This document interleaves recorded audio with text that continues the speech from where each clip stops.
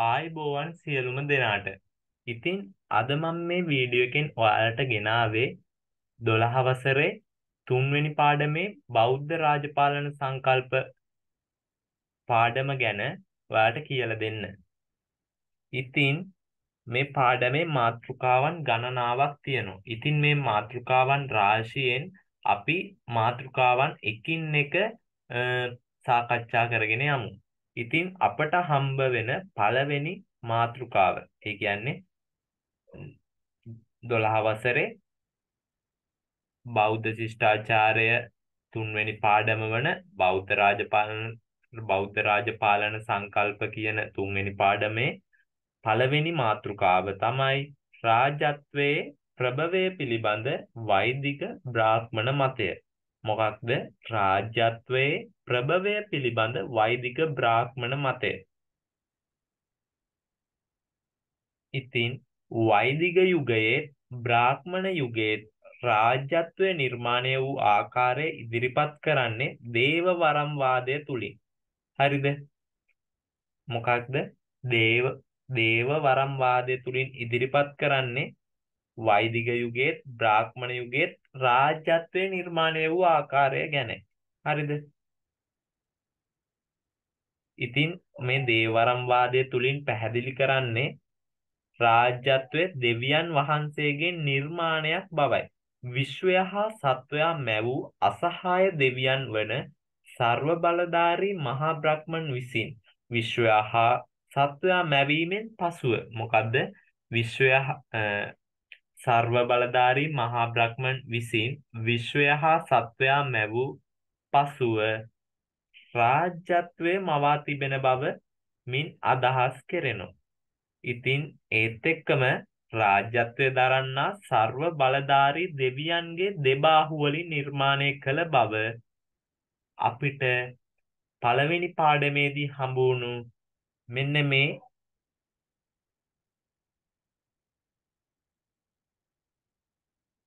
පාඨයෙන් වඩාත් ගම්‍යමාන වෙනවා. ඒක තමයි බාහු රාජ්‍යන් කෘතන්. ඉතින් මේක දක්වලා තියෙන්නේ රාජ්‍යත්වය දරන්න ਸਰව බලධාරී මහා බ්‍රහ්මයන්ගේ දෙබාහු වලින් නිර්මාණය වූ බව දක්වලා තිබෙන්නේ ඍග්වේදයේ දහවන මණ්ඩලයේ 90 වන පුරුෂ සූත්‍රය තුලය. හරිද? ඉතින් මේක අපි පළවෙනි පාඩමේ ඉගෙන ගත්තා. හරිද?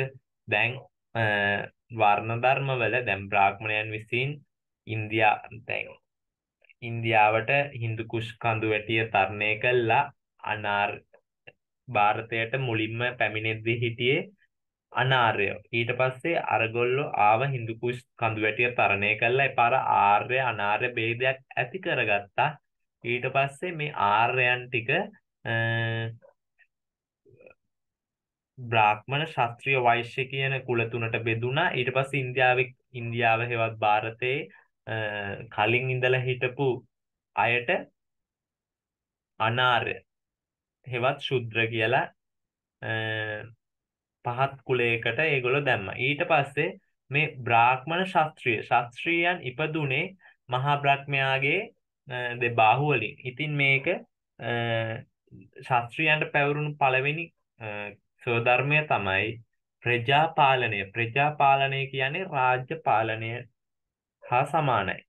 ඉතින් සර්ව බලධාරී මහා බ්‍රහ්මන් විසින් විශ්වය හා සත්වයා මැවීමෙන් පස්සේ තමයි රාජ්‍යත්වයේ මවා තිබෙන බව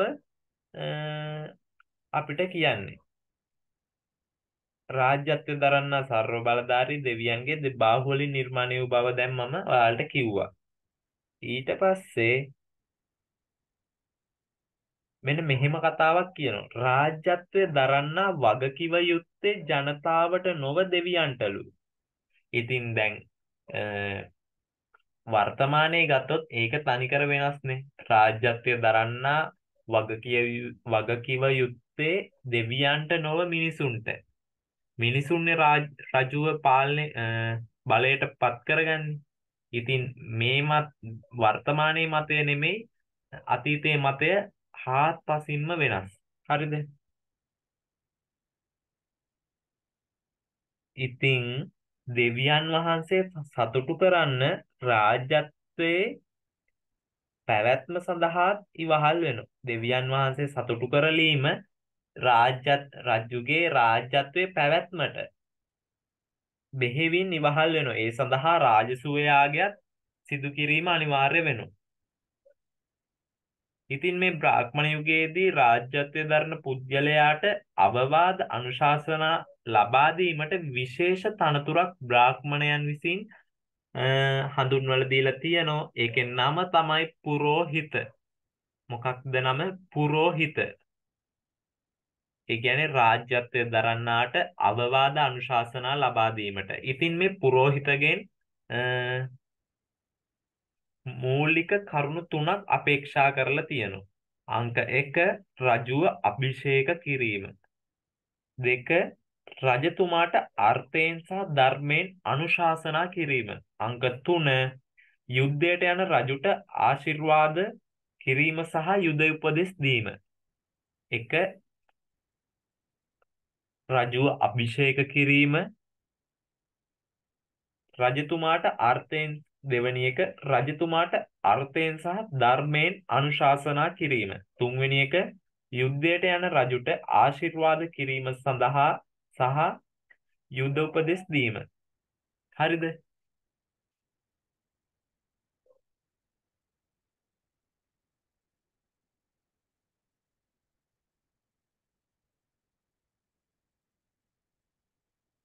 ඉතින් මේ බ්‍රාහ්මණ යුගයේ අවසානයේ වෙද්දී රාජ්‍යත්වය පිළිබඳ අදහස මුළුමනින්ම වෙනස් වෙනවා. රාජ්‍යත්වයේ ප්‍රභවය යුද්ධය නිසා ඇති වූවක් බව ප්‍රචලිත වෙනවා මේ යුගයේ අවසාන වෙනකොටම. හරිද? ඒ බව තෛත්තරීය උපනිෂදු උපනිෂදයේ තුල තොරතුරු සඳහන් වෙනවා. රජෙකු නොමැත්තෝ නම් යුද කළ නොහැක යන අදහස තවදුරටත් තෛතරේය බ්‍රාහ්මණ ගන්තයේ සඳහන් වෙනවා. ඉතින් මේ බව අතීතයේ පැවතුණු සුර අසුර යුද්ධයෙන් සූරයන්ට නායකත්වය දීම සඳහා ස්කන්ද කුමාර රජු ලෙස මේ අනුව ස්කන්ද කුමාර රජු ලෙස පෙනී සිටීම මේ අනුව පැහැදිලි වන්නේ වෛදික සහ බ්‍රාහ්මණ ග්‍රන්ථවල රාජ්‍යත්වය පිළිබඳ විවිධ අදහස් තිබුණු බවයි. දැන් කියනෝනේ දැන් බ්‍රාහ්මණ යුගයේ අවසානයේ රාජ්‍යත්වය පිළිබඳ අදහස වෙනස් වුණාලු. යුද්ධ එපාර රාජ්‍යත්වයේ ප්‍රභවය ඇති වෙලා තියෙන්නේ යුද්ධය නිසා ඇති වූවක් බව ප්‍රචලිත වෙලා තියෙනවා. මේක ප්‍රචලිත වුණේ මේ බ්‍රාහ්මණ යුගයේ අවසානයේදී. මේ බව සඳහන් වෙන්නේ තෛතරීය උපනිෂදයේ උපනිෂයදය තුල නම් බ්‍රාහ්මණ ග්‍රන්ථය. හරිද? අතීතයේ පැවති සුරාසුර යුද්ධයෙන් සුරයන්ට නායකත්වය දීම සඳහා සුරයන්ට නායකත්වය දෙන්න ස්කන්ද කුමාර රජු ලෙස පෙනී ඉඳලා තියෙනවා. ඉතින් මේන් පෑදිලි වෙන්නේ බ්‍රාහ්මණ ග්‍රන්ථ බ්‍රාහ්මණ ග්‍රන්ථවල රාජ්‍යත්වය පිළිබඳ විවිධ අදහස් තිබුණයි කියලා තමයි ඉතින් අපිට මෙතනින් පැහැදිලි වෙන්නේ. ඊට පස්සේ දෙවැනි මාතෘකාව තමයි රාජ්‍යත්වයේ ප්‍රභවය පිළිබඳ බෞද්ධ ਵਿਚාරය. මෙන්න මෙතන ඉඳන් තමයි විශාල මාතෘකාවකට විශාල පාඩමකට මෙම තුන්වෙනි පාඩම ගලාගෙන යන්නේ. හරි.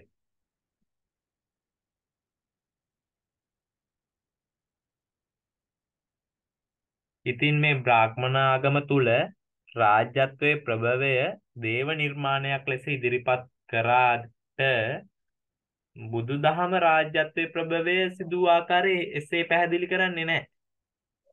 බුදුදහම රාජ්‍යත්වය ඇති වූ ආකාරය පැහැදිලි කරන්නේ හේතුඵලවාදය තුලින්.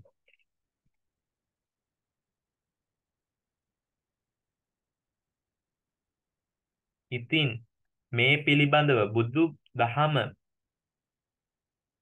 බෞද්ධ දේශපාලන චින්තනය තුලින් කරුණු පැහැදිලි කරන්නේ දීඝනිකායේ චක්කවර්ති සීහනාද සූත්‍රය ඇසුරු කරගෙන මේ ඇසුරු කරගෙන නෙවෙයි ඒ සූත්‍රය තුල තමයි මේක සඳහන් වෙලා තියෙන්නේ. මොකක්ද? බුදු දැන් බ්‍රාහ්මණ ආගම තුල රාජ්‍යත්වයේ ප්‍රභවය දේව නිර්මාණයක් බව කියලා කිව්වනේ. ඉතින් බුදුදහම ඒක බැහැර කළා බුදුදහම කියන රාජ්‍යත්වයේ ප්‍රභවය සිදු වූයේ හේතුඵලවාදීව කියලා. ඉතින් මේ ගැන කරුණු සඳහන් වෙනවා දීඝනිකායේ චක්කවර්ති සීහනාද සූත්‍රයේ. පෘථුවිය විශාල ජල ගැල්මකින් සංවට්ට අවස්ථාවේදී විනාශයටපත් වුණා. දියුණු මනසක් සහිත සත්වයෝ ආබස්සර බ්‍රහ්ම ලෝකයේ ඉතා දීර්ඝ කාලයකට ආබස්සර බ්‍රහ්ම ලෝකේ ඉපදුනා. ඊට පස්සේ ඉතා දීර්ඝ කාලයකට පස්සේ පෘථුවිය විවට්ට අවස්ථාවටපත් වේ. විවට්ට අවස්ථාවට කියන්නේ දැන් අර සංවට්ට අවස්ථාවේදී පෘථුවිය විශාල ජල ගැල්මකින් විනාශ වූාට පස්සේ විශාල කාලයකට පස්සේ අවුරුදු 100 ගානකට පස්සේ විවට්ට අවස්ථාවට පත් වෙනවා. විවට්ට අවස්ථාව කියන්නේ පෘථුවිය යලි සකස් වෙනවා. පෘථුවියට ඉර එළිය ලැබිලා පෘථුවියේ සාග වර්ධනය වෙලා පෘථුවිය විවට්ට අවස්ථාවට පත් වෙනවා. ඉතින් අර සංවට්ට අවස්ථාවේදී දියුණු මනසක් සහිත සත්වයෝ ආබස්සර බ්‍රහ්ම ලෝකේ උපත ලැබුවනේ. ඉතින් මේ විවට්ට අවස්ථාවේදී දියුණු මනසක් සහිත සත්වයෝ ආබස්සර බ්‍රහ්ම ලෝකයෙන් නික්ම. ඒ කියන්නේ ආබස්සර බ්‍රහ්ම ලෝකෙන් පෘථුවිය මතු පිටට පහළ වෙනවා. ඔවුන් රස පොළව භූමි පප්පටක බදාලතාවැල් ස්වයංජාත රත්වැල් අනුභව කරමින් වාසය කළ අතර ස්වයංජාත රත්වැල් පරිහරණය කරන විට සමාජ ගැටලු පැන නැගුණා. හරිද? දැන් කිව්වා සංවට්ට අවස්ථාව විවට්ට අවස්ථාව කියලා. දැන් මේක බුදුදහමට අනුව තමයි පැහැදිලි කරන්නේ රාජ්‍යත්වයේ ප්‍රභවය. හරිද? රාජ්‍යත්වයේ ප්‍රභවය පැහැදිලි කරන්නේ බුදුදහමට අනුව. බ්‍රාහ්මණ ආගමට අනුව නොවේ බුදු දහමට අනුව. ඔන්න පෘථුවිය විශාල ජල ගැල්මකට පත්වන්නේ පෘථුවිය විශාල ජල ගැල්මකින් විනාශ වෙන්නේ සංවට්ට අවස්ථාවේ. පෘථුවිය යලි සකස් වෙන්නේ විවට්ට අවස්ථාවේදී. එතකොට මේ සංවට්ට අවස්ථාවේදී පෘථුවිය විනාශ වෙද්දී දියුණු මනසක් සහිත සත්වයන් හෙවත් මිනිස්යන් ඉපදෙනවා ආබස්සර බ්‍රහ්ම ලෝකේ. ඉහින් ඉපදෙනවා ආබස්සර බ්‍රහ්ම ලෝකේ. ඉතින් මේ විවට්ට අවස්ථාවේ පෘථුවිය යලි සැකසීමේදී ඒ ආබස්සර බ්‍රහ්ම ලෝකෙන් මිදිලා එනවා පෘථුවියට ආපහු. ඉතින් ඇවිල්ලා මොවුන් අපේ පෘථුවියේ ඇති වෙන රස පොළව, භූමි පප්පටක, බදාලතාවැල්, ස්වයංජාත රත්වැල් අන්තිමේටම ඇති වෙනවා. ඉතින් මේවා අනුභව කරනවා. ඊට ක්‍රමක්‍රමයෙන් අනුභවය කළා අන්තිමේටම ස්වයංජාත රත්තල් අනුභව කරන නිසා හෙවත් පරිහරණය කරන නිසා සමාජය තුළ විවිධ ගැටලු හමු වෙනවා. ඉතින් මේ ගැටලු රාශියක් අපිට දැනගන්න බලා ගන්න පුළුවන්. ඔන්න මේ ගැටලු පහ හොඳට බලන්නකෝ. දිලින්දන්ට ධනය නොදෙන නිසා දිලිඳුකම වැඩි දියුණු වේ. අංක 1 දිලින්දන්ට ධනය නොදෙන නිසා දිලිඳුකම වැඩි දියුණු වේ. අංක 2 දිලිඳුකම වැඩි දියුණු වීම නිසා සොරකම වැඩි දියුණු වේ.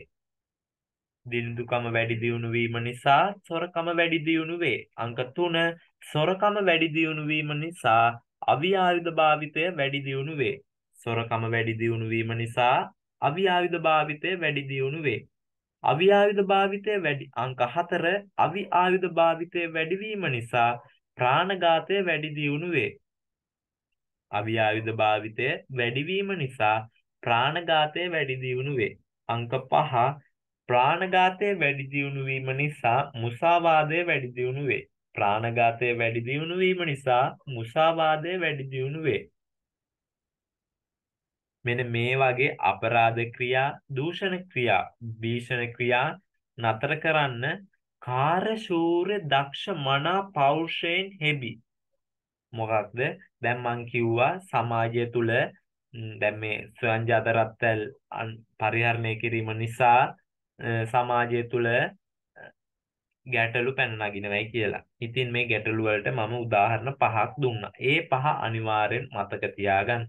ඉතින් මේ අපරාධ කියා දූෂණ ක්‍රියා භීෂණ ක්‍රියා නතර කරන්න කාර්යශූරය අංක 1 කාර්යශූරය දක්ෂ මනා පෞරුෂයෙන් හෙබි පුද්ගලයෙකු මහජනතාවගේ සම්මතයෙන් ප්‍රජාතන්ත්‍රවාදී ජන ජන ජනහිතවාදීව පත් කරගන්න ක්‍රමය තමයි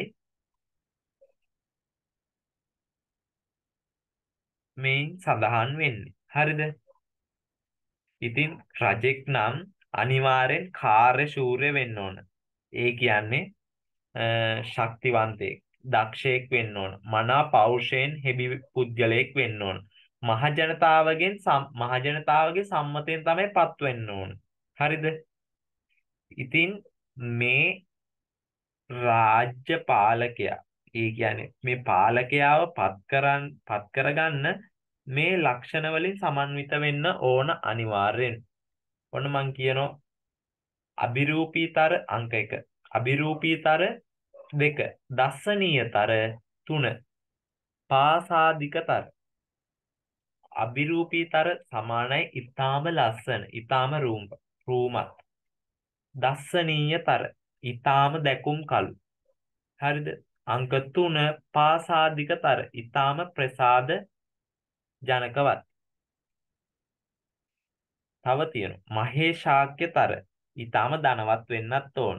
මොකද රාජ්‍ය පාලනයට දුප්පත් පුද්ගලයෙකු ආවහොත් එතන සොරකම් පමණක් සිදුවන බව සඳහන් වෙනවා. ඉතින් මේ ඊටාම ලස්සන, ඊටාම දැකුම් කළු, ඊටාම ප්‍රසාද ජනකවත්, ඊටාම ධනවත් ලක්ෂණ වලින් හෙබි පුද්ගලයා මහා සම්මත යනුවෙන් අපි හඳුන්වනවා. හරිද? මොකක්ද? මේ ලක්ෂණ වලින් අනුුණ පුද්ගලයා මහා සම්මත යනුවෙන් අපි හඳුන්වනවා. මේ අදහස මෙන්න මෙහෙම අර්ථවත් කරනවා. මහජනේන සම්මතෝ මහා සම්මතෝ යනුවෙන් හඳුන්වනවා. මොකක්ද? මහජනේන සම්මතෝ මහා සම්මතෝ යනුවෙන් මෙම අදහස අර්ථවත් කරනවා. ඉතින් මේ මහා සම්මත යනුවෙන් හඳුන්වන පුද්ගලයාගෙන් ජනතාව මූලික වශයෙන් කරුණු තුනක් අපේක්ෂා කරනවා. මොකක්ද මේ අපේක්ෂා කරන කරුණු තුන? අංක 1 හික්මිය හික්මවිය යුත්තන් හික්මවීම.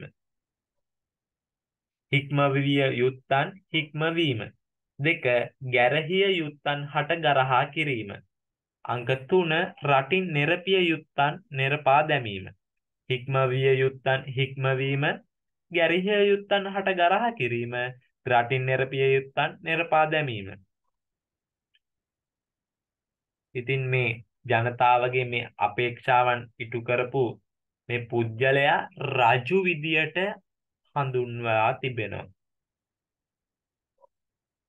හරිද මේ දැන් ජනතාව අපේක්ෂා වුණානේ කරුණු තුනක් ඒ මොකද්ද? හික්මිය යුත්තන් හික්මවීම, ගැරේ යුත්තන් හට ගරහා කිරීම, රටින් නිරපිය යුත්තන් නිරපා දැමීම.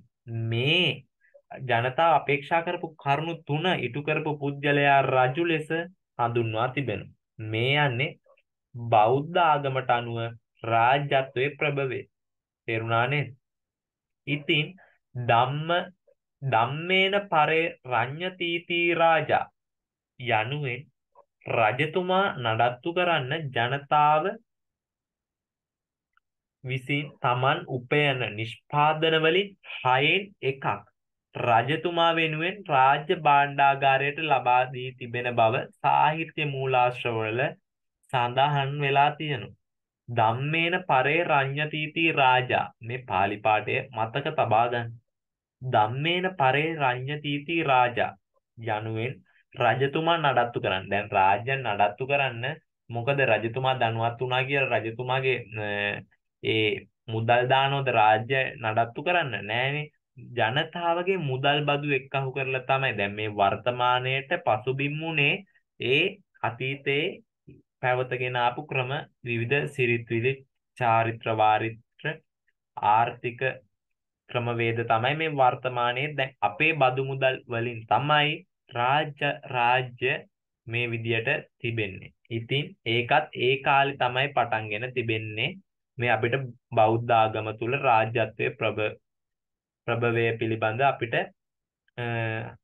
පැහැදිලි කරගෙන යද්දී අපිට වඩාත් හොඳින් අවබෝධ වෙනවා. ඉතින් මේ රජතුමාව නඩත්තු කරන්න රජතුමා නඩත්තු කරන්න රාජ්‍ය නඩත්තු කරන්න ඉතින් ජනතාව උපයා උපයන නිෂ්පාදන වලින් හයෙන් එකක් රජතුමා වෙනුවෙන් රාජ්‍ය භාණ්ඩාගාරයට දීම අනිවාර්ය වී තිබෙනවා. ඊළඟ මාතෘකාව තමයි බෞද්ධ ප්‍රතිපත්ති.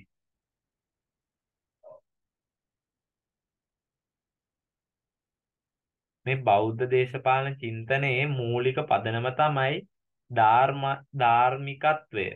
හරිද? බෞද්ධ දේශපාලන චින්තනයේ මූලික පදනම ධාර්මිකත්වයයි. ජනතා හිතකාමී පරමාදර්ශී ශ්‍රේෂ්ඨ ආදර්ශවත් රාජ්‍යත්වයක් ගෙන යාම සඳහා රාජ්‍ය 나යකයා අනිවාර්යයෙන්ම ධාර්මික වෙන්න ඕන.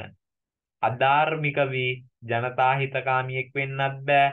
පරමාදර්ශියෙක් වෙන්න බෑ. ශිෂ්ට ශ්‍රේෂ්ඨ වෙන්න බෑ. ආදර්ශවත් රාජ්‍යයක් ගෙන යන්නත් බෑ. ඒ මොකද අධාර්මික රජතුමා එවත් රාජ්‍ය නායකයා අධාර්මික වුණොත් රජතුමා ධාර්මික කෙනෙක් වුණොත් තමයි ජනතා හිතකාමී පරමාදර්ශී ශ්‍රේෂ්ඨ ආදර්ශවත් රාජ්‍යයක් ගෙන යාමට හැකිවන්නේ. ධම්මිකෝ ධම්මරාජා සංකල්පයෙන් එය වඩාත් හොඳින් බුදුන් වහන්සේ බෞද්ධ සංකල්පය තුලින් අවධාරණය කරලා තියෙනවා. මොකක්ද බුදුන් වහන්සේ බෞද්ධ සංකල්ප වලින් අවධාරණය කරලා තියෙන්නේ ධම්මිකෝ ධම්මරාජා යන සංකල්පය තුලින්. ඉතින් මෙම සංකල්පය ඉස්මතු කර ඉස්මතු කිරීම සඳහා කටයුතු කරන පාලකයා ආදර්ශවත් පරමාදර්ශී ප්‍රතිපදාවක් ගෙන ගෙන යන්න ඕන අනිවාර්යයෙන්. සෑම අවස්ථාවකදීම බෞද්ධ ජනතාව රාජා භවතු ධම්මිකෝ යනුවෙන් ප්‍රාර්ථනා කරන්නේ රජතුමා ධාර්මික විය යුතු බවයි. ඉතින් සෑම අවස්ථාවකදීම මේ බෞද්ධ ජනතාව රාජා භවතු ධම්මිකෝ යනුවෙන් ප්‍රාර්ථනා කරන්නේ රජතුමා ධාර්මික විය යුතු බවයි. ඉතින් රජතුමා ධාර්මික නොවුනොත් හදිසියෙ හරි අධාර්මික වුනොත් රට තුල විවිධ භීෂණ දූෂණ වංචා සොරකම් මැරකම් කිසි හැමදේම හැම පාලනයක්ම නරක අතට යනවා. ඉතින් මේ බෞද්ධ ජනතාව රජතුමා ධාර්මික විය යුතු බව හෙවත් රාජා බෞතු ධම්මිකෝ යනුවෙන් ප්‍රාර්ථනා කරන්නේ රජතුමා ධාර්මික විය යුතු බවයි.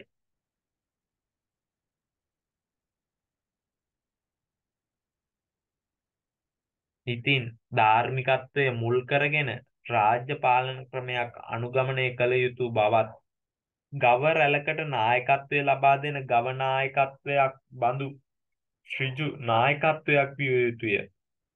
ඔයාලා දන්නවද? ගව රැලකට නායකත්වය දෙන ගවයා මාර ඒ නියම නායකත්වයෙන් හෙබු හෙබි ඍජු නායකත්වයෙන් හෙබි ගවයෙක් තමයි ඒ ගව රැල්ලට නායකත්වය හොබවන්නේ.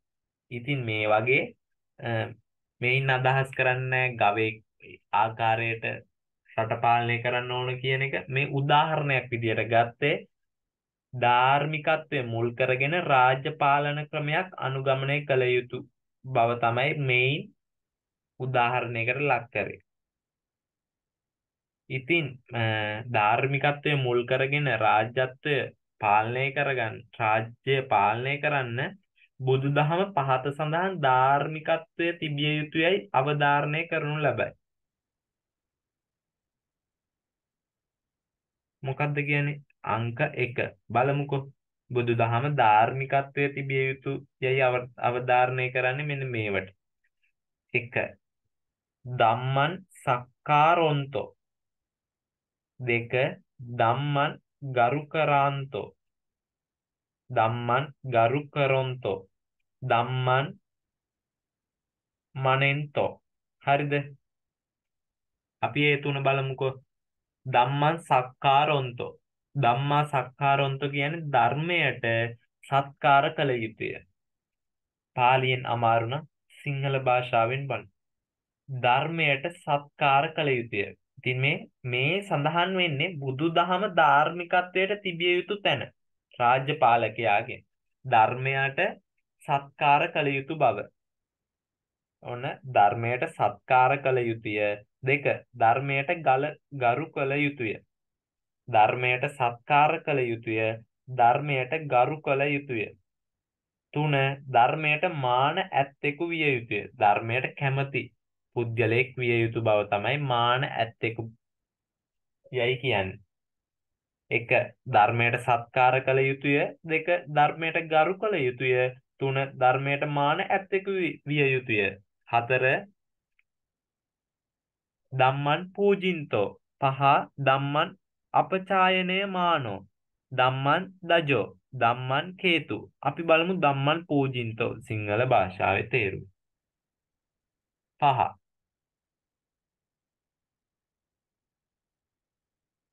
හතර. ධර්මයට පුදන්නෙකු විය යුතුය.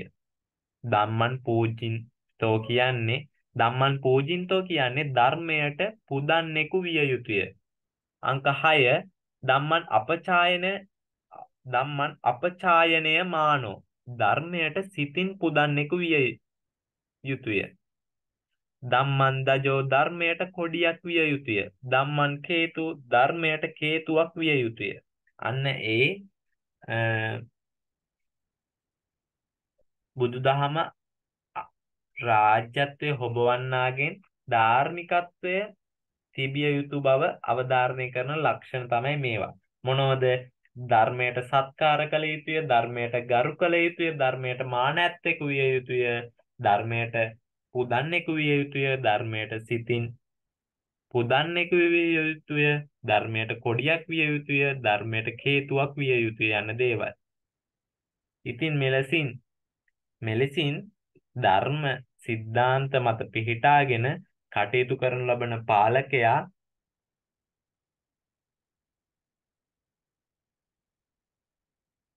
බුදුන් වහන්සේ දේශනා කළ බෞද්ධ මූලධර්ම දේශපාලනික වශයෙන් යොදාගත යුතුය.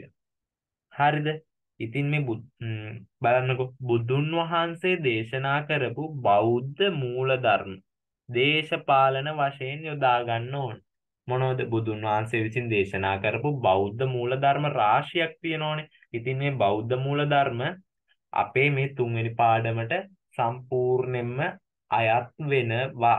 හරිද? අයත් වෙන නිසා මේ සියලුම දේවල් අපිට සිහියේ තබාගෙන මතකයේ තබාගෙන සිටින්නට වෙනවා. හරිද? මොකක්ද කියන්නේ? බුදුන් වහන්සේ දේශනා කරපු බෞද්ධ මූලධර්ම දේශපාලන වශයෙන් රජතුමා විසින් ක්‍රියාවට නැන්විය යුතු බව බුදුන් වහන්සේ හඳුන්වා දී තිබෙනවා. මොනවද බුදුන් වහන්සේ විසින් දේශනා කළ බෞද්ධ මූලධර්ම? පංචශීල ප්‍රතිපදාව, දස රාජ ධර්ම, දස සක්විතිවත්, සප්ත අපරිහානි ධර්ම, සතර සංග්‍රහ වස්තු, සතර බ්‍රහ්ම විහරණ, සතර අගතයෙන් තොරවීම, ආර්ථික සමෘද්ධිය සඳහා උපදෙස් ලබා ගැනීම. ඉතින් ඔන්න එක අහගන්න. එක පංචශීල ප්‍රතිපදාව තිබෙන්නේ දීඝනිකායේ අග්ගඤ්ඤ සූත්‍රය තුල. මොකක්ද? පංචශීල ප්‍රතිපදාව තිබෙන්නේ දීඝනිකායේ අග්ගඤ්ඤ සූත්‍රය තුල. අංක 2 දසරාජ ධර්ම.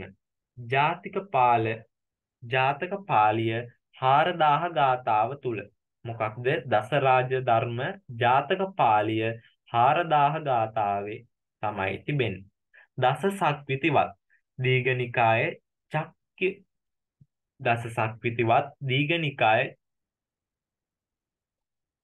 චක්කවත්ත සීහනාද සූත්‍රය. දස සක්විතිවත් දීඝනිකායේ චක්කවත්ත සීහනාද සූත්‍රය. අංක 4 සප්ත අපරිහානීය ධර්ම. දීඝනිකායේ මහා පරිනිබ්බාන සූත්‍රය තුල. මොකක්ද? අංක 4 සප්ත අපරිහානීය ධර්ම දීඝනිකායේ පරිනි මහා පරිනිබ්බාන සූත්‍රය තුල. සතර සංග්‍රහ වස්තු දීඝනිකාය සිංහාලා සිංහාලෝවාද සූත්‍රය තුල. සතර සංග්‍රහ වස්තු දීඝනිකායේ සිංහාලවාද සූත්‍රය තුල. හරිද? සතර බ්‍රහ්ම විහරණ දීඝනිකායේ සිංහාලෝවාද සූත්‍රය තුල සතර බ්‍රහ්ම විහරණ දීඝනිකායේ සිංහාලෝවාද සූත්‍රය තුලමයි තිබෙන්නේ.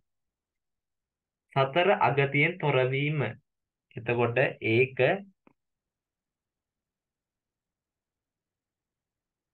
හත්වෙනි දේශ බෞද්ධ මූල ධර්මය. සතර බ්‍රහ්ම විහරණ 6 වෙනි මූල ධර්මය සතර අගතියෙන් තොරවීම 7 වෙනි බෞද්ධ මූල ධර්මය සතර අගතියෙන් තොරවීම දීඝනිකාය සිංහාලෝවාද සූත්‍රය සතර අගතියෙන් තොරවීම දීඝනිකාය සිංහාලෝවාද සූත්‍රය ආර්ථික සමෘද්ධිය සඳහා උපදෙස් ලබා ගැනීම දීඝනිකාය කූටදන්ත සූත්‍රය. ආර්ථික සමෘද්ධිය උදෙසා සමෘද්ධිය ලබා ගැනීම ආර්ථික සමෘද්ධිය සඳහා උපදෙස් ලබා ගැනීම දීඝනිකාය කූටදන්ත සූත්‍රයේ අඩංගු වෙනවා. හරිද?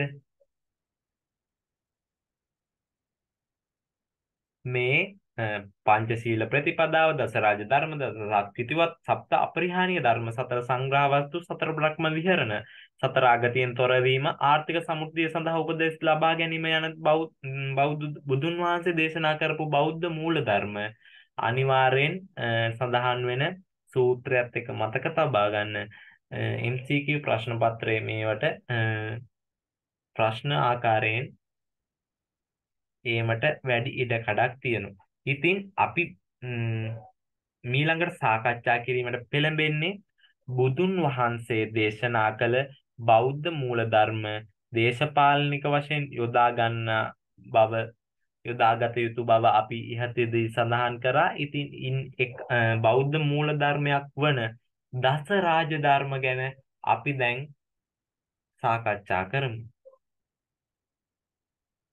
ඉතින් ඊට ප්‍රථම නිවේදනයක් දෙන්න තියෙනවා.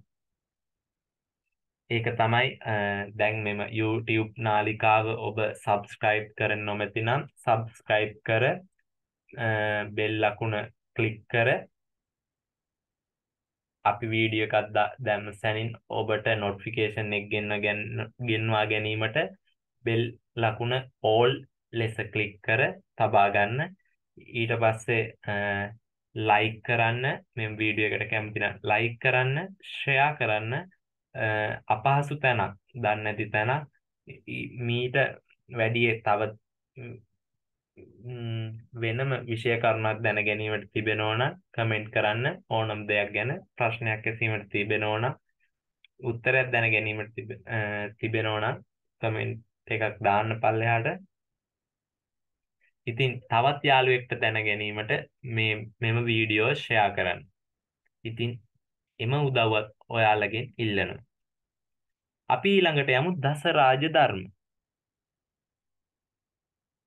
බුදුන් වහන්සේ විසින් දේශනා කරපු පරමාදර්ශී ජනතා හිතකාමී ආදර්ශවත් රාජ්‍ය පාලනයක තිබිය යුතු මූලිකම ප්‍රතිපදාව තමයි දස රාජ ධර්ම. මොනකද්ද? බුදුන් වහන්සේ විසින් දේශනා කරපු පරමාදර්ශී අංක 1 පරමාදර්ශී ජනතාහිතකාමී ආදර්ශවත් රාජ්‍ය පාලනයක තිබිය යුතු මූලික ප්‍රතිපදාව තමයි දස රාජ ධර්ම හරිද අපි මේ දස රාජ ධර්ම මොනවද කියලා ඉස්සෙල්ලම අඳුනගෙන ඉමුකෝ හරිද ඔන්න දස රාජ ධර්ම දස රාජ ධර්ම මෙන්න මෙහෙම අපිට හඳුනා ගන්න පුළුවන්. මේ විදියට ඔයාලගේ පොතේ මේ විදියට ලියා ගන්න මේක තමයි හරිම පිළිවෙල. අංක 1. මං එකේ ඉඳන් පිළිවෙලට කියාගෙන යනවා. දානය, සීලය, පරිත්‍යාගය, ඍජු බව, මෘදු බව තපස අක්‍රෝධය අවිහිංසාව ඉවසීම අවිරෝධතාවය. හරිද? ඔන්න ආයමත් කියනෝ ස්ලෝ එකේ. දානය සීලය පරිත්‍යාගය ඍජු බව මෘදු බව තපස අක්‍රෝධය අවිහිංසාව ඉවසීම අවිරෝධතාවය. ඉතින් මෙන්න මේක මෙහෙම කියන පාලියෙන් දානං සීලං පරිච්ඡාගං අජ්ජවන් මජ්ජවන් තපන් අක්කෝදෝ. අවිහිංසාච කන්තිච අවිරෝධතා. ඉතින් මේක ගාතාවකත් සඳහන් වෙනවා. ගාතාවක් විදියටත් තියෙනවා. මෙන්න මේක මෙහෙම අහගන්නකෝ. දානං සීලං පරිච්ඡාගං. අජ්ජවන් මජ්ජවන් තපන් අක්කෝදව අවිහිංසාච. කන්තිච අවිරෝධතා. දැන් මම ඔයාලට ඉස්සෙල්ලා කිව්වනේ දානං සීලං පරිච්ඡාගං. ඒ ටික ඔයාලට තේරෙනවා ඇතිනේ. ඒ ටික පිළිවෙලට අර ටිකට ඉස්සරහ දාණය ඉරක් ගහලා දානං සීලය ඉරක් ගහලා සීලං විදියට ලියාගන්න. ඉතින් බෝධිසත්ව ගුණාපේත බෝධිසත්ව ගුණෝපේත පරමාදර්ශී ක්‍රමයක් තමයි මේ දසරාජ ධර්ම දසරාජ ධර්මයෙන් හෙබි රාජ්‍යයන් සතුව තිබෙන්නේ බුදුන් වහන්සේ පෙන්වා දෙන ආදර්ශමත් රාජ්‍ය පාලනය රටවැසියන් වෙනුවෙන් ගෙන යාමට නම් මෙම ප්‍රතිපත්ති රාමුව ක්‍රියාවට නැන්වීම අනිවාර්යෙන්ම වැදගත්. හරිද? බුදුන් වහන්සේ විසින් පෙන්වා දී තිබෙන ආදර්ශමත් රාජ්‍ය පාලනය රටවැසියන් වෙනුවෙන් ගෙන යන්න මෙම බෞද්ධ මූලධර්මය වන දසරාජ ධර්ම දසරාජ ධර්ම ප්‍රතිපත්තිය යොදා ගැනීම වැදගත් වෙනවා. මේක සඳහන් වන්නේ ජාතික පාළිය ජාතක පාළිය මහා හංස ජාතකය තුල. එහි 40 ගාථාවේ මේ බව දක්වන. දසරාජ ධර්ම සඳහන් වෙන්නේ අන්න ඒක.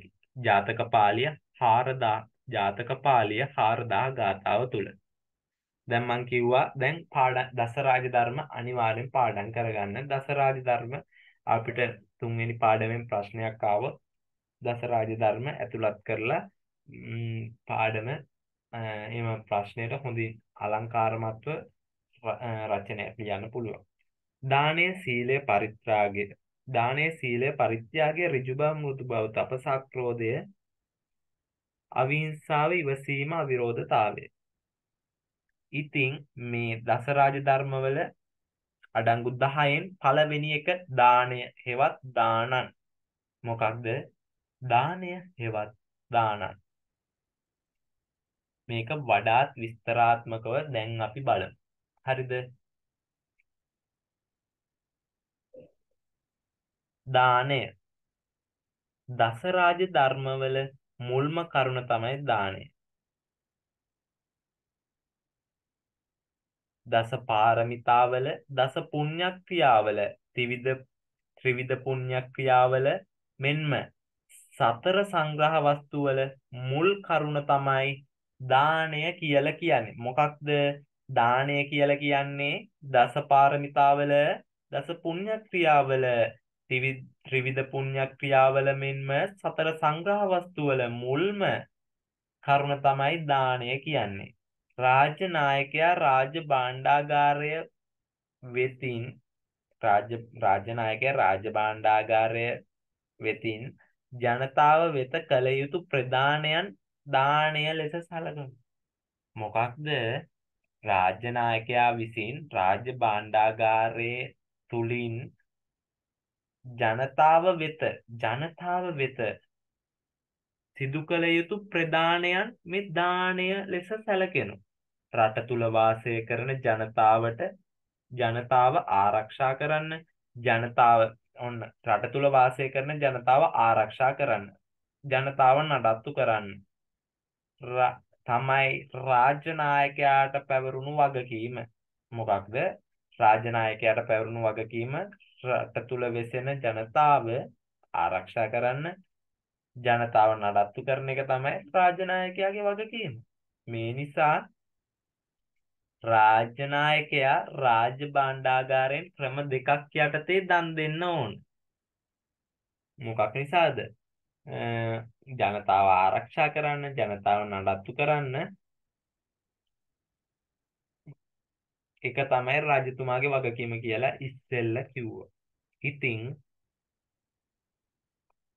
මේ සඳහා රාජ්‍ය නායකයා රාජ්‍ය භාණ්ඩාගාරයෙන් ක්‍රම දෙකක් යටතේ දන් දෙන්න ඕනේ. ඒ ක්‍රම දෙක තමයි පූජා බුද්ධියෙන් දානය පිරිනැමීම, අනුග්‍රහ බුද්ධියෙන් දානය පිරිනැමීම.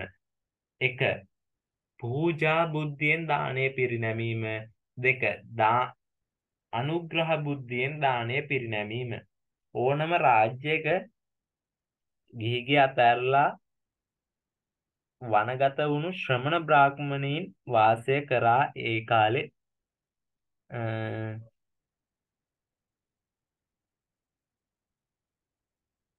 භාරතය තුල.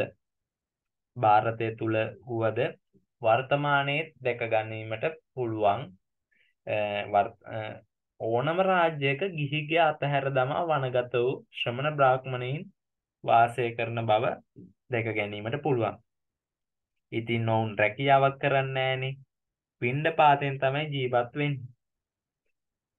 ඉතින් ඒ හින්දා රාජ්‍ය නායකයා එවැනි ශ්‍රවණ ශ්‍රමණ බ්‍රාහ්මණයින් නඩත්තු කරන්න පූජා බුද්ධියෙන් දන් දෙන්න ඕන. අනුග්‍රහ බුද්ධියෙන් නෙමෙයි. දැන් මං ඉස්සෙල්ලා කිව්වත් රාජ්‍ය නායකයා රාජ භාණ්ඩාගාරකෙන් රාජ භාණ්ඩාගාරයෙන් ක්‍රම දෙකක් යටතේ දන් දෙන්න ඕනේ කියලා. පූජා බුද්ධියෙන් දන් දීම, අනුග්‍රහ බුද්ධියෙන් දන් දීම.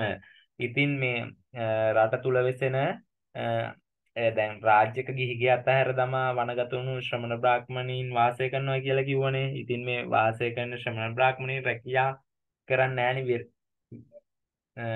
රැකියා නොකරන හින්දා පිණ්ඩපාතිකවන ජීවත් වෙන්නේ. මේ නිසා රාජ්‍ය නායකයා එවැනි ශ්‍රමණ ශ්‍රමණ බ්‍රාහ්මණීන්ට පූජා බුද්ධියෙන් දන් දෙන්න ඕන. ඕනෑම රාජ්‍යයක දුගී, මගී, යාචකාදීන්ට මෙන්ම ආබාධ සහිත රෝගාබාධිත පුද්ගලයන්ද සිටිනවා. ඕනම රාජ්‍යයක බැලුවම දුගී මගී ජනතාව ඉන්නවා. යාචකාදිය යාචකාදීන් ඉන්නවා. ආබාධ සහිත රෝගාබාධ රෝගාබාධ සහිත ආබාධ රෝගාබාධ සහිත පුද්ගලයින් ඉන්න ඕනේ. ඉතින් ඔවුන්ගේ සුබ සාධනය සඳහාද රජතුමා අනුග්‍රහ බුද්ධියෙන් ඉතින් ඔවුන්ගේ සුබ සාධනය සඳහා අනුග්‍රහ බුද්ධියෙන් තමයි දන් දෙන්න ඕනේ. පූජා බුද්ධියෙන් දන් දෙන්න ඕන ශ්‍රමණ බ්‍රාහ්මණයින්ට අනුග්‍රහ බුද්ධියෙන් දන් දෙන්න ඕන රට තුල රාජ්‍යයක වෙසෙන දුගී මගී යාචකාදීන්ට සහ ආබාධ සහිත රෝගාබාධිත පුද්ගලයන්ට අනුග්‍රහ බුද්ධියෙන් දන් දෙන්න ඕන. දිලිඳු ජනතාවට රජතුමා දන් නොදෙනින් නොදෙන්නේ නම් දිලිඳුකම වැඩි දියුණු වී සමාජය තුල විෂමතාව හටගෙන සමාජය තුල විවිධ ගැටලු පැන නැගිනවා. ඒ විවිධ ගැටලු පැන නැගීම දැන් මෙතනට ප්‍රශ්නයක් ආව දස රාජධර්ම විස්තර කරන්න කියලා. දැන් මේ අන්තිමට මම කිව්ව නේද දිලිඳු ජනතාවට රජතුමා දාණය නොද දන් නොදෙන නිසා දිලිඳුකම වැඩි දියුණු වෙනවා කියලා. ඉතින් දිලිඳුකම වැඩි දියුණු නොවෙන නිසා සමාජය තුළ විවිධ ගැටලු ඇති වෙනවා අනිවාර්යයෙන්. ඉතින් සමාජය තුළ විවිධ ගැටලු ඇතිවීමට හේතු සාධක අපිට පෙන්වා දෙන්න පුළුවන්. අර මං කිව්වේ දිලින්දන්ට ධනය නොදෙන නිසා දිලිඳුකම වැඩි දියුණු වේ. දිලිඳුකම වැඩි දියුණු වීම නිසා සොරකම වැඩි දියුණු වේ. සොරකම වැඩි දියුණු වීම නිසා අව්‍යාවිද භාවිතය අව්‍යාවිද භාවිතය වැඩි දියුණු නිසා ප්‍රාණඝාතය ප්‍රාණඝාතය වැඩි වීම වැඩි දියුණු වීම නිසා මුසාවාදය දියුණු දියුණුවේ කියලා මෙන්න මේ වගේ සමාජය තුළ විවිධ භීෂණ දූෂණ ක්‍රියා පැතිරෙන බව අපිට වඩාත් හොඳින් පෙන්වා දෙන්න පුළුවන්. දස රාජ ධර්මවල දෙවැනි කරුණ සීලය හෙවත් සීලං සීලය සීලං කියලා හඳුන්වන්න පුළුවන් පාළි. කාය වාචානං සමෝදානං සීලං සීලය කියලා කියන්නේ කය වචන දෙකේ සංවර බව. බුදුදහමේ පැහැදිලිව දක්වන්නේ රජතුමා රටේ මුල් පුරවැසියා බව. ඉතින් බුදුදහම කියන්නේ පැහැදිලිව කියන්නේ රජතුමාලු රටේ මුල් පුරවැසියා. ඔහු රටේ ජනතාවට ආදර්ශමත් ලෙස වාසය කරන්න ඕන බව කරන්න ඕන යුතු බව දක්වා තිබෙනවා බුදුදහමේ. කායික සහ වාචසික දුරාචාරයන්ගෙන් වෙන්විය යුතු බව දක්වනවා. නිත්‍ය සීලය ලෙස පංච සීලය ආරක්ෂා කරගත යුතු බවක් දක්වනවා. ඒ වගේම උපෝසත දිනයන්හිදී අටසිල් දසසිල් ආරක්ෂා කළ යුතුය. විශේෂයෙන්ම මෙහිදී කායිකව සිදු කරන ප්‍රාණඝාතය, අදත්තාදානය, කාම මිත්‍යාචාරය, මත්පැන් පානය කිරීම ආදී ක්‍රියාවන්ගෙන් වාචසික සිදු කරන ඉන්නකෝ අපි එතනට තාටි හිින්නම් ඔන්න බලන්නකෝ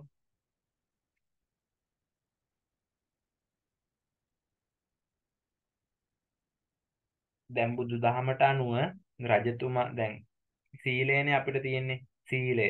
ඔන්න දෙවනි කරුණ දස රාජ ධර්ම වල දෙවනි කරුණ තමයි සීලය.